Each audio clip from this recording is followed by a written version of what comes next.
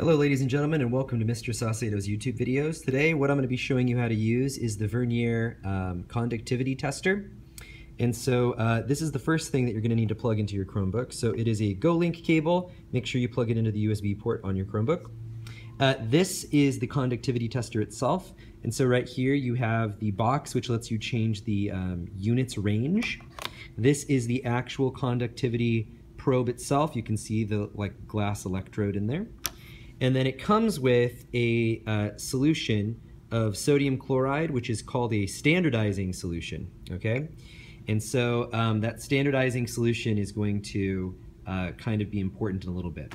Uh, but anyway, once you get your kit, you can kind of plug in uh, this to the GoLink cable. And so I don't know if I can do this with one hand, but we're about to find out. So I'm gonna try my best. See how good, how hard this is. Oh, it worked. All right, and so uh, this is telling you uh, right now that it's yellow, so it's in process and it's waiting for you to open the correct program on your Chromebook. So on uh, the Chromebook itself, if you haven't already, you're going to need to go to Vernier, uh, and actually you can just search for that. And so that's Vernier spelled V-E-R-N-I-E-R. And it opens up Vernier Graphical Analysis. Okay, I've already installed it, so mine says basically launch. And so when I click on it, I'm just going to launch that right now. All right, so let's launch it. Uh, it might take a little bit longer on your Chromebook, who actually knows, but um, it will give you access to what says sensor data collection. And when you click on that, it will actually automatically give you a graph of conductivity over time, which is what we want. And uh, you can see that it turned green now, telling you that it's ready for data. And so uh, what you can do here, if you haven't used any of these programs before, uh, is you can click on View. And so if you go to Table, it'll just give you all of the points that are going to be graphed when you collect your data. Uh, you can go to the meter itself, and it gives you that, that is its current reading right now. Okay? And uh, you can also do a graph and table, so it'll give you both the graph and the table.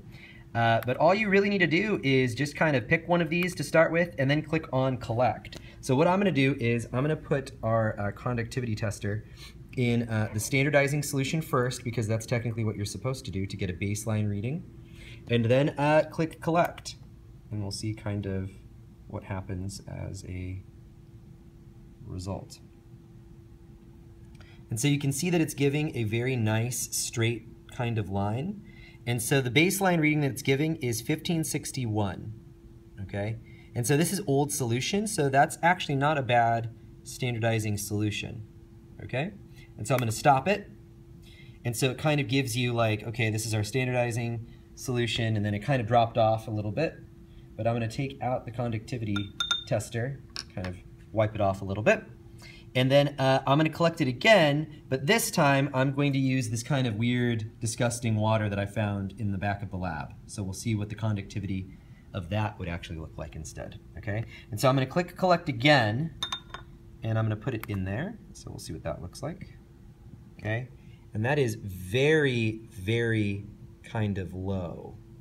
There's not a lot going on there, okay? And I'm gonna stir it around maybe a little bit, see if that makes a difference. Again, that's not a bad baseline reading, so I'm going to stop that again.